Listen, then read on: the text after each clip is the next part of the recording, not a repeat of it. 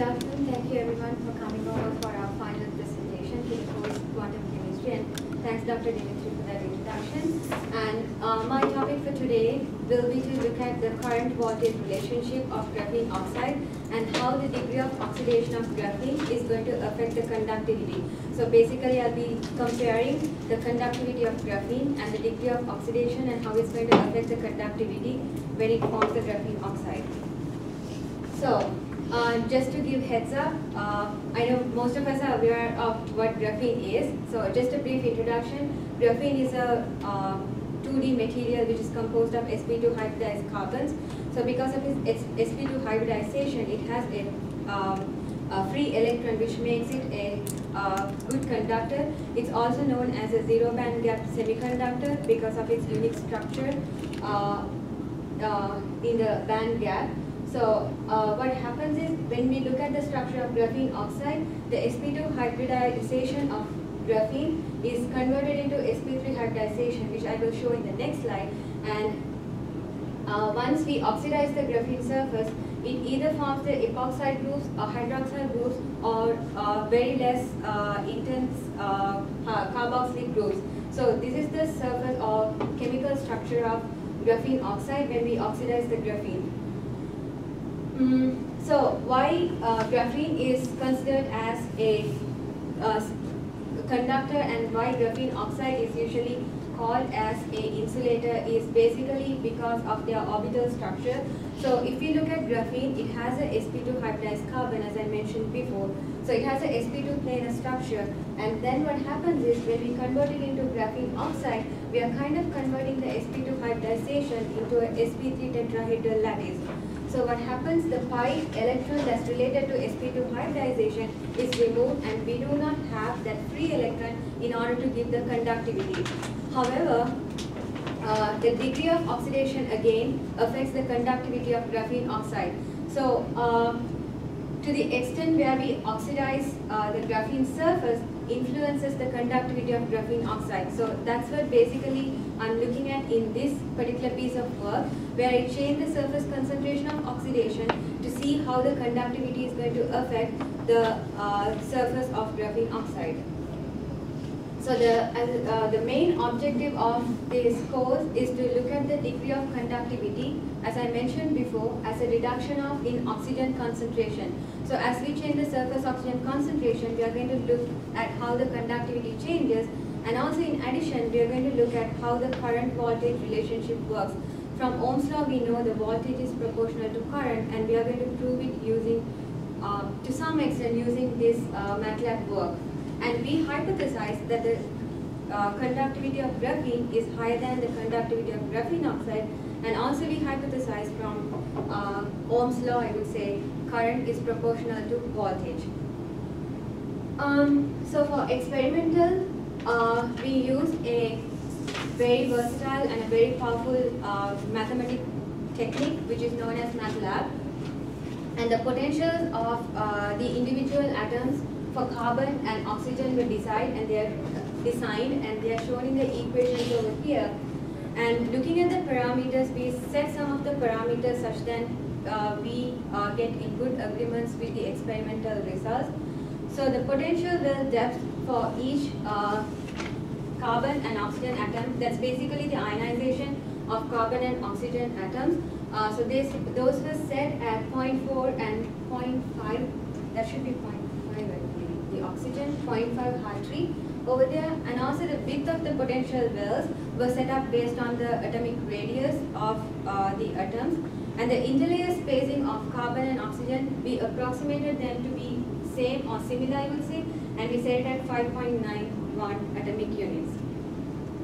So the main observable uh, in this uh, study was the current as I mentioned before and the electric current we can relate it to the electronic charge, the momentum and the mass of an electron. However, in atomic units, the E to M ratio, that is the charge to mass ratio is considered 1 and we can relate the electric current J which is equals to momentum and if we look at the observable, the momentum observable and the wave function over here in terms of time dependent wave function, we can use the evaluation of uh, evaluation operator and define the time de time dependent wave function over here.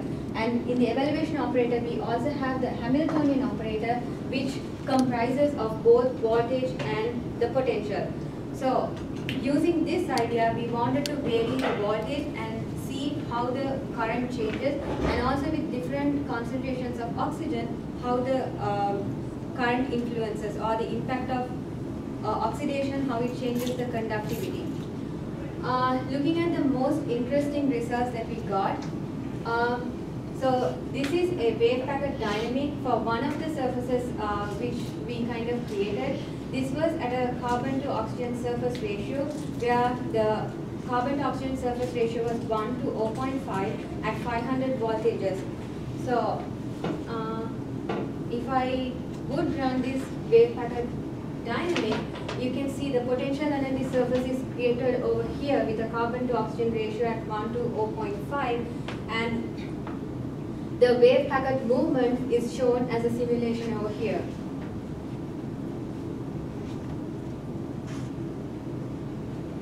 So another way of representing the wave packet dynamic as a function of position and time so at different positions, we also wanted to see at different surface, uh, at different surfaces and different surface concentration of oxygen, how does this wave packet movement occurs. So the first panel shows the uh, change in the change with different voltages, how it works for free space, and the second panel shows for graphene, and the third panel shows for graphene oxide. So as we go from here, uh, A through J, where I haven't mentioned, but here we start as a zero voltage and here we go at 25, uh, 50 and 500 voltages. So it works for all three panels and what happens is as we increase the voltage across the column for each of uh, the three systems, the change in the position, it changes, uh, it kind of curves off with the position with time and we do not see a significant difference so as I mentioned before, this is 25, 50 and 500 voltages. We do not see a significant change in the change of position that may be because we have to like make some significant changes in the coding. However, this kind of gives us an idea like with different systems and different voltages, how the wave packet dynamics look like looks like as a as a function of position and time. So as one of our objectives, which was to look at the Ohm's law to see the change in voltage with current, so we plotted the voltage, the current dependence with different voltages for free space, graphene and graphene oxide. So if you look at the plot over here, the gradient of the plot, plot is the reciprocal, it is the resistance, and the resistance of uh, free space and graphene was 283, whereas the, uh, the resistance of graphene oxide was 543, which is expected because if the resistance is high, the conductivity is low. We hypothesize that graphene has a high conductivity as opposed to graphene oxide. And again from Ohm's law, when we plot this, we can prove that uh, the resistance of graphene oxide is higher, thus the conductivity is less for graphene oxide as compared to graphene as compared to graphene.